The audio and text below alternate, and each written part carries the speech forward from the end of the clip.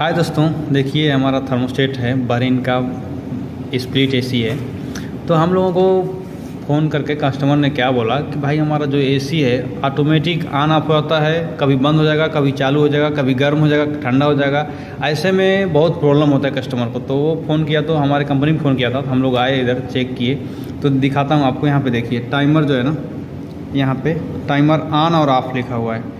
तो ये जब यहाँ पे लिखा रहेगा ना तो ऑटोमेटिक ऑफ़ होगा ऑटोमेटिक ऑन होगा। तो इसके लिए सबसे पहले क्या करने का आपको दिखाता हूँ आपको दोस्तों कैसे क्या क्या क्या करने का है। देखिए ये हमारा है ना ये दबा के रखना है आपको।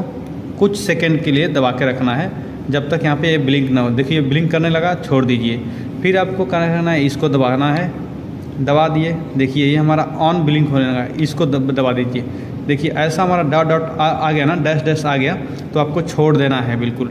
ऑटोमेटिक देखिए ऑन ख़त्म हो गया। सेम टू सेम आपको भी करना है। आपको भी हटाने के लिए हम क्या करेंगे? डाउन बटन को प्रेस करेंगे कुछ सेकंड के लिए। प्रेस करेंगे फिर हमारा घड़ी जैसा फ्लैश होने लगेगा। तो देखिए फ्लैश होने लगा। फिर हम क्या करेंगे? ये मोड बटन को दबाएँगे एक बार। अब मोड बटन को हमने दबा दिया। उसके बाद से मोड बटन को फिर से दबाएँगे। देखिए आप हमारा आप फ्लैश होने लगा। फिर हम इसको एक बार दबा देंगे। बस डैश डैश आ गया। ये ख़त्म हो जाएगा हमारा।